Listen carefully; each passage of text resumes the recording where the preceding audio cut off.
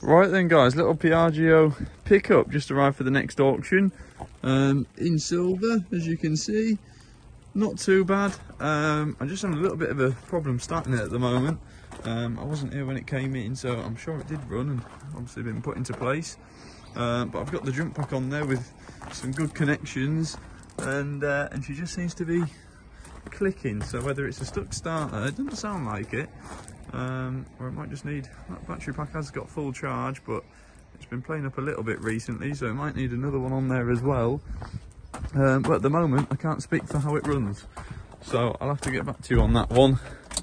Um,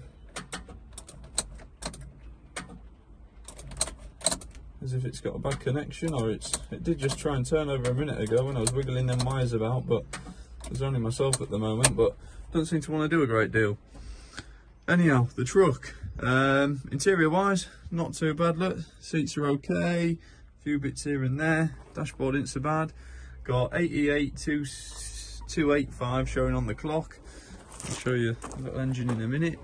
Um, paintwork wise the best look like looks like it's been rattle canned in uh, in silver so hopefully it'll be a cheap and cheerful little motor but a handy little thing.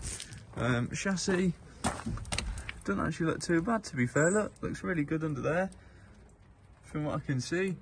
A few little surface bits look here and there. I can't see right underneath it. Um, tyres don't look so bad. Wheels are fairly clean. Um, yeah. Door skins and that look okay. It actually looks fairly solid in all fairness Drop this seat forward a sec so I can lift it up. There's a little motor under there. I'll um as soon as someone's about I'll get to give me a hand and just wiggle them wires on the jump pack whilst I turn it over and uh, hopefully I'll be able to get a video for you guys uh, to hear it run. Um, but yeah just come down and check it out for yourself. You know make sure it's what you expect and um, and see what you think really. I can't say too much more than that as I don't don't know any more myself but arches and that look solid. It looks a solid little thing. It's had a plate put in there look. Um, so it's had a bit done to it but yeah. Oh window don't work. Hence why it's down. Forgot that.